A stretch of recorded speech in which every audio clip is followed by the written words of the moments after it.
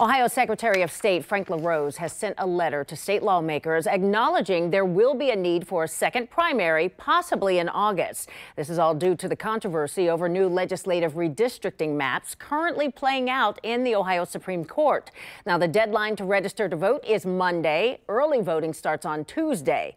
On the ballot for the May 3rd primary are contests for U.S. Senate, U.S. House, governor, and local offices. Contests for Ohio House and Senate seats will not appear on ballots because boundaries for state house districts have still not been settled. Secretary of State LaRose is on the redistricting commission, but he's also in charge of making sure the state's elections are fair. Every Ohioan who's a registered voter will have a chance to make their voice heard through the same three convenient methods you've always had. That means a month of early voting, a month of absentee voting, and in person election day voting. But we also won't compromise when it comes to integrity. Ohioans need to know when they watch the results come across the bottom of their screen on election night that they participated in an honest election.